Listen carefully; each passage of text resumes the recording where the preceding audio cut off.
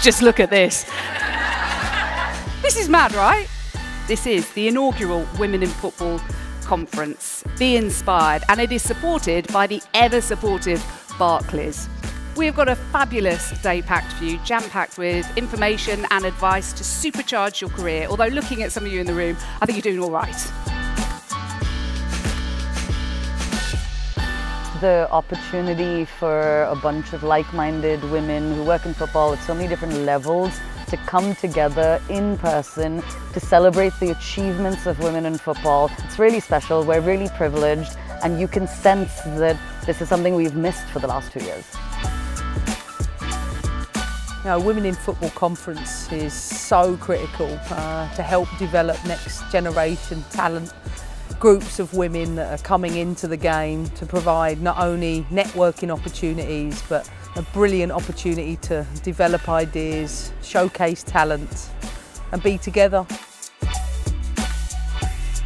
Yeah, we've been involved with women in football for a number of years now and simply put it's because we admire their commitment to making sure football is fair and equitable for all and a great place for women to work and we believe very passionately about that. It's been so exciting to meet so many of our members, to hear the inspirational panels and speakers and to see our members who work across the game getting so much out of today. It's been fantastic.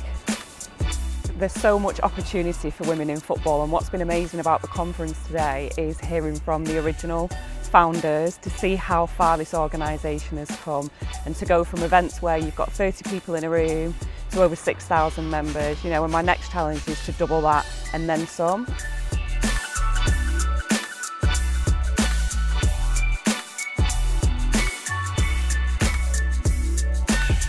My biggest takeaway from this conference is confidence. Confidence to say that we can do it and even when we're feeling down, just know that we are here for a reason and that we are women in football and we can do it.